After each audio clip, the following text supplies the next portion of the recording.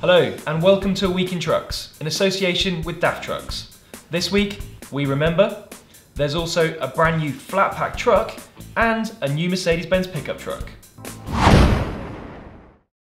You may remember the amazing Poppies installation, Blood Swept Lands and Seas of Red by artist Paul Cummins and designer Tom Piper at the Tower of London in 2014. What you might not realise is that since then, the two very moving sculptures from the original installation, Wave and Weeping Window, have been touring the UK. We've got some amazing footage of the latest installation of Weeping Window at Caernarfon Castle in North Wales.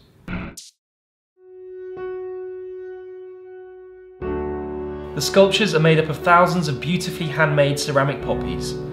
They have already been seen in Liverpool, Lincoln, Yorkshire, Perth and Orkney in Scotland and Woodhorn in the northeast and will continue their journey around the UK until 2018. The tour is being brought to a new audience by 14-18 Now, the UK arts programme for the First World War centenary, with the support of transport sponsor DAF Trucks and art transport experts MTec Freight, who've transported other world famous projects by artists including Ai Weiwei, Antony Gormley and the Chapman brothers. We'll be checking in on the poppies the next time they move location, when the Weeping Window goes to Hull and the Wave arrives in Southend-on-Sea, to find out how this installation is removed, packed, moved and assembled again. Ex-Formula One and supercar designer Gordon Murray has launched the world's first flat pack truck, a low-cost, all-terrain transport solution designed to bring mobility to parts of Africa and the developing world.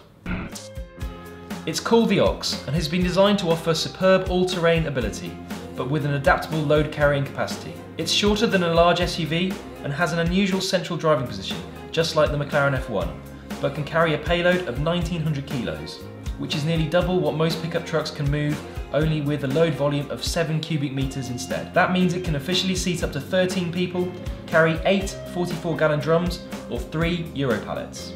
It shouldn't cost much either, with a price of between 10 to 15 grand for aid agencies or village communities. For now, the project is still looking for some heavyweight support to bring it into production. But with the company Gordon Murray Design having just been nominated for a National Innovation Award and being named the winner of the prestigious Royal Automobile Club's Dewar Trophy for Outstanding British Technical Achievement, the Ox may yet become a reality in some far-flung corner of the globe. A few months ago, we showed you sketches of a brand new Mercedes-Benz pickup truck. Well, now they've revealed the concept vehicles, and we've got to say, they look pretty good. The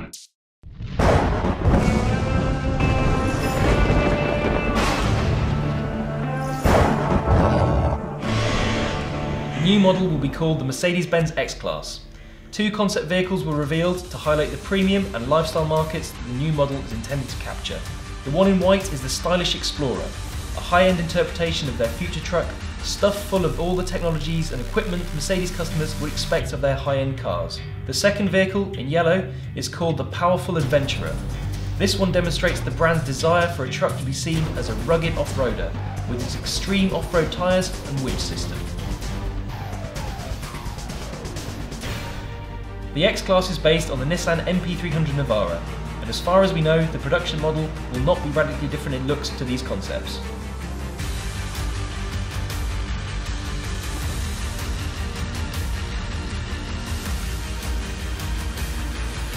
Expected to go into production at the end of 2017.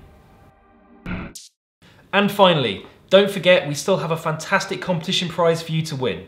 By sending us a simple video, you can win Class 2 and Class 1 HGV tuition from our friends at EP Training. All you've got to do is watch an episode of A Week in Trucks that we've linked to in the comment section below to find out how to enter. You've been watching A Week in Trucks in association with DAF Trucks. Thanks for watching.